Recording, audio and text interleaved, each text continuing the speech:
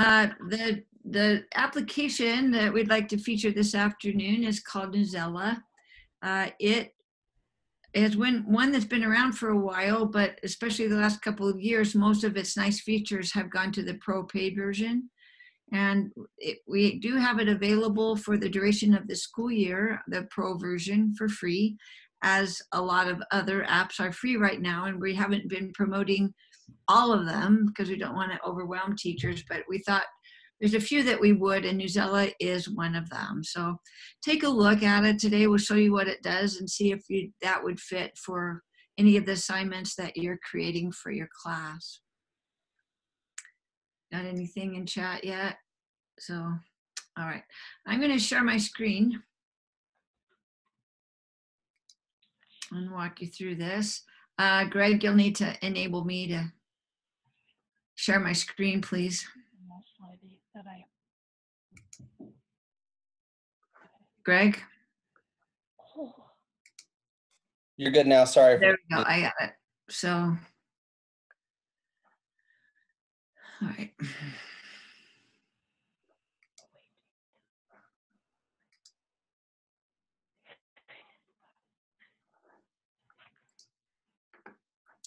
Is the wrong screen. Sorry. I'm going to get to the right one. I've got too many screens open.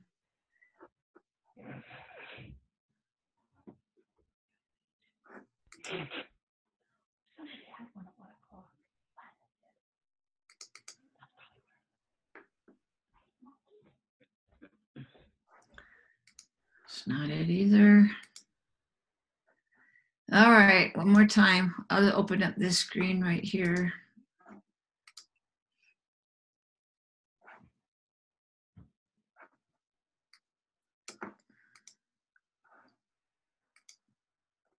Okay, there we go. All right, can you see my screen? I can see you. Okay, Looking good. The screen. so we're gonna go to Newsela, just go to the website right here. And mine's gonna look a little different than yours the first time that you log in, just because I've already created an account. Uh, you're going to see a screen that says, uh, get free access or log in. You already have free access, so don't click the free access button. Go ahead and just log in with your Google account, verify it to your Nebo account, and you'll be able to log in. When you log in, you're going to uh, be able to create your profile. Let me show you what this looks like. So Pam, my can I have a quick comment? Yes, They have to log in with Google, correct, to get that Yeah. free version yes. with their Nebo account. Oh, right. Yeah, there's a button there that'll say, uh, sign up for a free account. Don't sign up for a free account because we already did that as a district. Just go ahead and sign in with Google. Good. Thank you. So this is what your prof, when you first sign in, you'll get uh, a, a page like this to create your profile.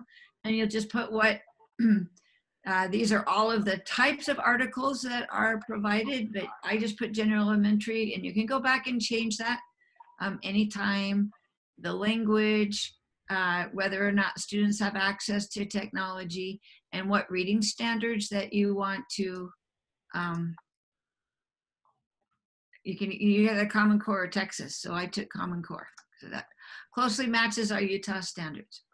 I'm going to save that um, and this is where you add your classes so i'm going to go to classes right here and the thing that i like about newsela is that it syncs with your google classroom classes so if you already have a class in google classroom you can sync it right here and you don't have to create a new account add students in newsela um, and your students don't have to um, cre- assign into Newsela. You're just going to assign these articles and assignments right from Google Classroom. So the, the way that you add a class is you click on Sync Now, and it will bring up all of your Google Classrooms. You can see that I've already synced this class that I created just for this um, demonstration, which is called the Newsela class, but I could create oh, sorry, my mouse wants to right click when I want it to left click. I can create uh, any number of classes at the same time. I'll select the grade of that class And I can even select the subject.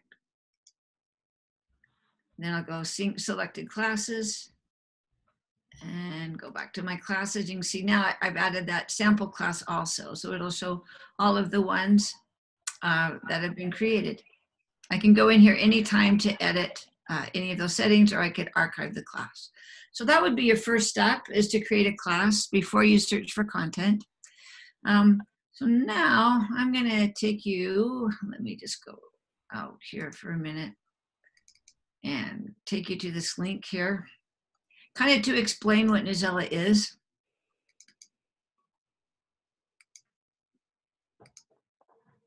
So we know that you already have access to a lot of online content.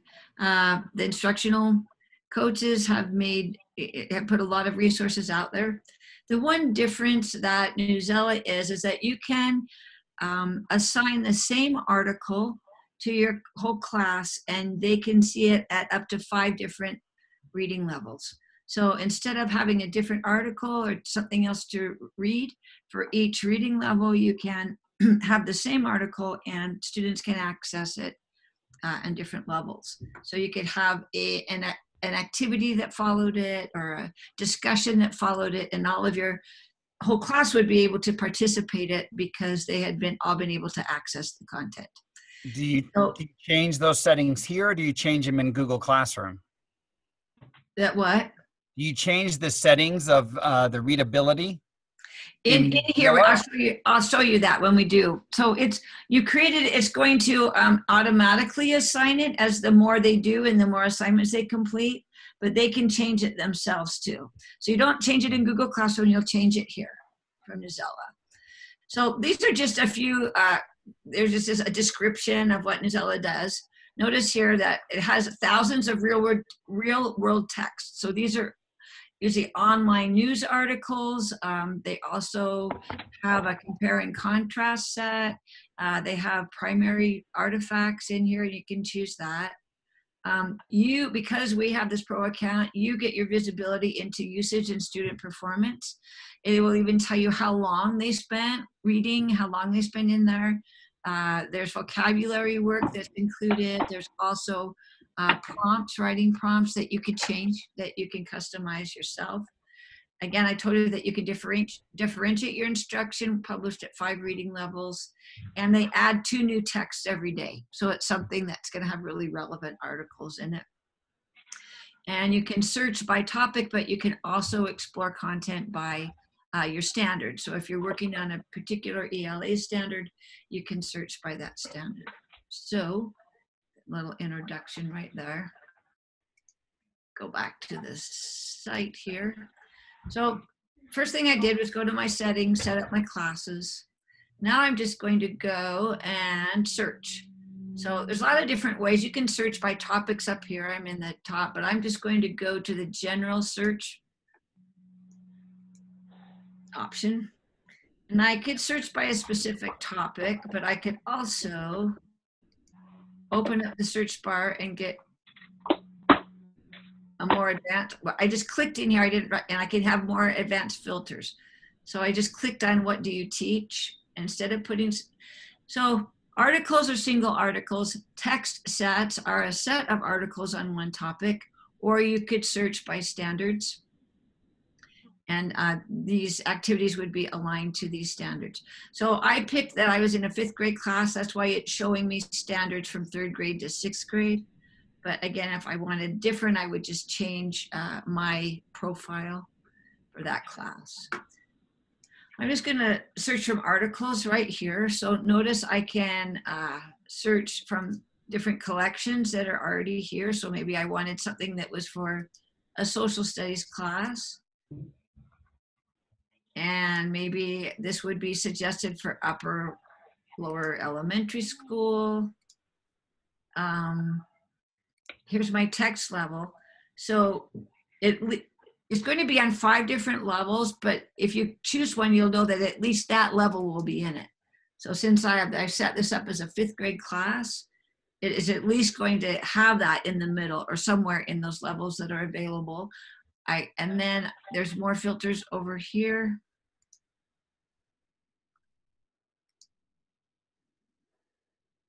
I, it looks like, uh, do I, and a lot of over here on the right, do I, what kind of format do I want it? As an essay, a primary source, a reference source? This will tell me, do I want one that has power words, which are the vocabulary words added with it? So it has built-in textual help with those words, plus it has a little activity. And do I want to have a prompt that goes with it? So I've got all those set and apply those. And then this is what I've come up with in my search. These are the articles. So you can tell what these little icons are down here. This means it's social studies. This means it's got the power word activity. This means it's a, it has an ELA um, standard connected to it. So you can tell really quick what the filter has brought up for you. So um, let me just find one here. I mean, you can go and there's there's thousands of articles, but um, let's talk about this one, Want a Revolution. It's easy, go vote. So I'm going to open that and take a look at it. Here's where the activities are. You can read it, so you can see here where where it's from. It's this is an article from the Chicago Tribune. Here's the text level. Um, it'll give you the word count. This was just published in the end of February. So it's about uh, taking the census, I think. Here, so you can see where the power words are. Go through here. If there's a, I go explore power word, and it gives me a uh, tells me what that word is, and I can also hear it pronounced. Indicate. To indicate something means to show it exists or is true. So I can also give instructions. You'll see when you go in to actually do it that students can go in and they can annotate. There's little annotation tools. So you can give them an article and have them go in and in one color, you know, identify all the proper nouns or whatever, or certain main ideas. So I can print it out. Um, I can share it, but I'm also, before I do that, I'm going to look here and I am going to look at the activities. So here's the power, power word, act, whoops. You can see what's here. There's a little quiz, one out of 10, um, qu- what they get. So if they're, they can, this is already set up. So it's a little vocabulary quiz that they can take after they read. Here's the writing prompt that goes with it. And you can edit this and make your own. So you don't have to do uh, the prompt that's there. You could go in and create your own prompt. And then there's a quiz. It's a comprehension quiz. And I think that is not editable. Just the prompt is editable. So that's already created for you. I could change this. This is um, where it's presented as at the 800 level. I could also have it presented at a lower Lexile level if I wanted to, and then students can increase it or decrease it on their own. And at, as the students um, read more articles and complete more comprehension quizzes, it will automatically assign them the level, kind of levels they're reading, but they have to use it a little bit. So then when I go to assign it, I'm going to go uh, create, I can add it to an existing assignment or I can create an assignment. And I will select the class. I'm going to assign it. These are the classes that I synced with my Google Classroom. So I'm I can even adjust the level again. And then I will just click assign. So here's the part you need to remember. After you've assigned it, it, this exists in Newsela right now. So like if your students just like to do Newsela, they could take it, but I haven't shared it with Google Classroom yet. I shared it to my Newsela class that was synced to my Google Classroom class, if that makes sense. So I'm gonna go in here and click the share button and share it with Classroom now.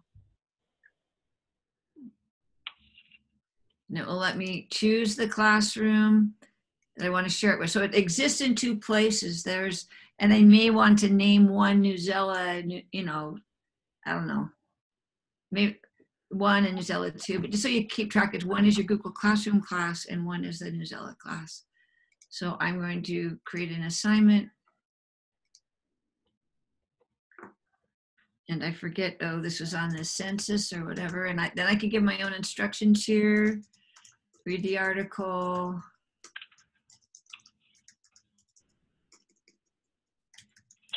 Uh, complete the writing prompt and the vocabulary power words quiz and comprehension check. Sorry, I can't type. Comprehension check. So you could give them any instructions there. Give this the points in here, however you want to do that. Set the due date, just like you would any other of your assignments.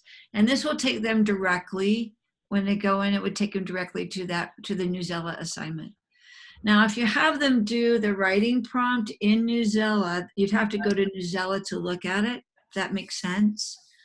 If I wanted them to do the, the same writing prompt, but do it within Google Classroom instead, then I might, um, no, it's not letting me add another. Let me just assign this. Yeah, Pam, the reason it's not letting you is because you're creating that from the Newsela into Google Classroom, not straight from Google Classroom. That's why. Right. I was just gonna go back into classroom and see if I could add in, but it's not gonna let me do that, so. Anyway, that's basically where it is. You can see if I went in as a student, I might have added myself to this class. Let me see. Did, did one of your coaches that added the class, do you want to go in and show, share your screen and show what it would look like from a student perspective? Sure, I can do that. Okay, I'm gonna stop sharing. So let's go into, your own best judgment, following the parameters as far as what the protocol is for businesses to operate. So we'd encourage you. to- not, Well, I did give them, uh, I gave the coaches the code to join that Newsela class. I created that new class, but that you wouldn't have to. You could just do it into your existing class. I didn't have to create a new class. This was just for the purposes of this uh, demonstration. In fact, follow these protocols. So use some I forgot to, and I could go back in and there's the census. That's the one that I just did. I could have given it a topic, but I didn't. The assignment. So I could have say, they, they do have that add or create option up in the top. So click that, Greg. Are key to our you could have given them an assignment to create a new Google Doc and to, um, you know, respond to the writing prompt there if you wanted to have that right within Google Classroom. But um, go ahead and, and click on the assignment, the Newsela assignment. And you can see that he, he'll sign in with Google. So you might have to make a little screencast for your students the first time that you do this or talk them through. kind of had the ad- I don't know if you ever hit a sign actually, Oh, okay. Well, I can. but it's there, so it should be. That's weird. are you in some way. That's not the case. That's not true. Let me just give you some. Can you click on one of the other ones that I? Yeah, I'll go to- for you? But you absolutely Yeah, I'll go one of the other ones. I tried, and I don't know if it's because we have teacher accounts that it's not letting us in as a student. I'm not quite sure. Uh, Okay, 42% of confirmed cases. well, I might, mm, I'll go in as a, um, a student on a student account. 45 and 60 I have my student account. I think I added myself as a student. cases over 65 years. Let me go in here really quick. So all of us are okay, I'll stop and you can share again. more so in younger populations, more so than probably what's going on. Hospitalizations, approximately 8% of the cases that we have This won't be the same one, but okay.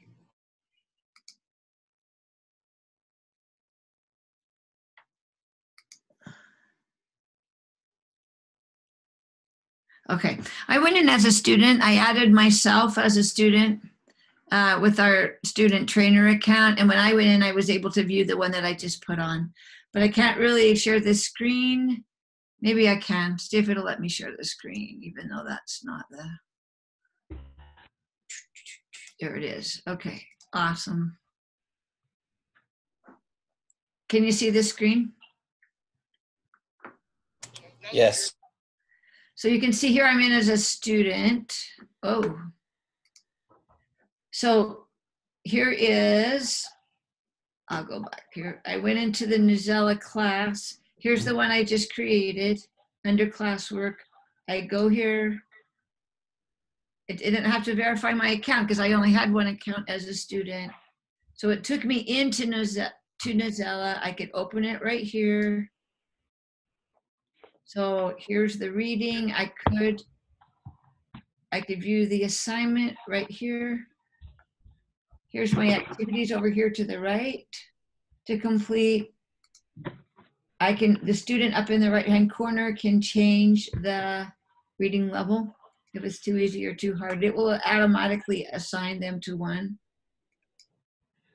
I don't know if this view assignment. Now, do you assign the, can you assign different uh, activities or does it always assign the same activities? Um, you would assign, it assigns the same activity, but it, the activity also would be on the reading level. So when you change that reading level, it would change the activity, it would change the comprehension questions, and it would also change the activity. Does that make sense? But is it, but can you pick and choose which activities to do or are they always going to have a writing and a vocabulary? You can and- pick, you can pick. Okay, You can choose to include them or not. That's up to you.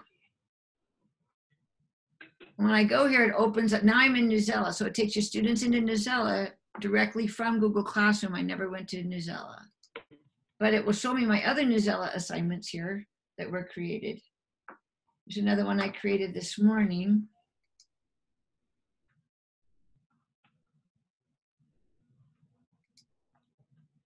I open it up, here's the article. Again, I can change the reading level. We haven't had this long enough, but what I think would happen is the more the student, the more articles they do and they choose the reading level, then it would automatically assign that to them. But these power words would change. Let's look and see. So here's the max reading level. Let's look at what the power words are here. Um, we have which word goes with effective. It's a self-correcting. Um, and let's go in, if I went to the lowest reading level, you can see the word change. I'm doing quickly or steady. So that's kind of cool, even though it's the same article.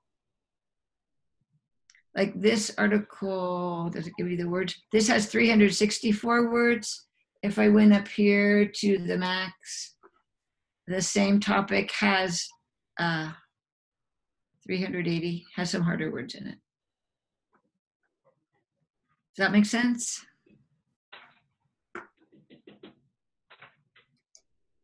Are there any questions?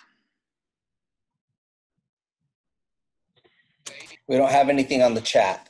Is it something that you think you might use? I would just try it one time, try it out. I think what it does that we don't have, like I told you, is the even though you already have a lot of leveled reading material for your students, this gives your students the same material but on different levels. So that's and to have this comprehension vocabulary quizzes already worked in. So browse through, see if students can also go in. Like if I went in here, did I stop sharing my screen already? Let me, I, okay, am I sharing my screen? I'm not. Okay, let me share this. No, screen. not yet. Uh, what does that look like? Places. Okay. Once I'm in as a student, I can also go in here. You're and I you're still not sharing your screen. If you're meaning to, you're not sharing it. Oh, I need to click the share. Okay, can you see it now? Yes. So I'm in as a student right now. So I can also go in and I could browse any of these articles. So you could even have your students go in and look for any of these articles if they wanted to, you know, look at search, do some research so they could use it as a reference or a research tool also. So they, they, they also have access to the full library.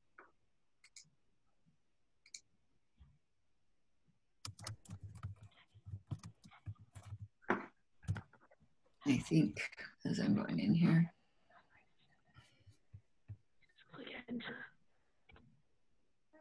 And it also creates a word wall, a progress of how they're doing. There's a binder for the teacher. There's also a binder for each student.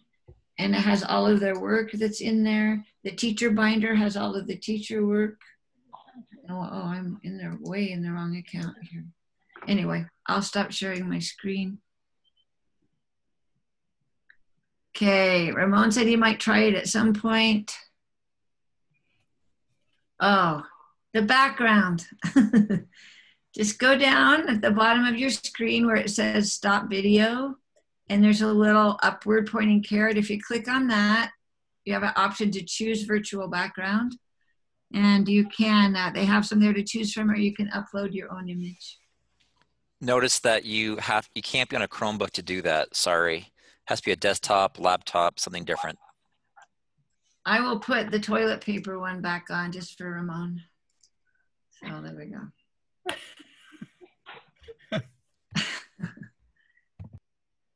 Just wanted y'all to be jealous. You're in heaven.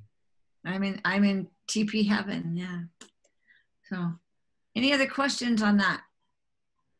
If you do give it a try, please let us know how it works for your class. Like I said, well, it has we'll have limited access to this in the fall, but it might be a good opportunity to try out this pro access for the rest of the school year. All right. All right. To- total side note, but going along with that video uh, or the the picture of the background, you can also upload a video, so you can have a video playing in the background. I saw a teacher uh, pretending they were skiing as they were going. It's pretty cool. So, total side note. Side, I'm sorry. Really cool. Cool. All right. Thanks, everybody. right. Well, thanks, everyone. Thanks, Ramon, Liz, Tim. Have a good day.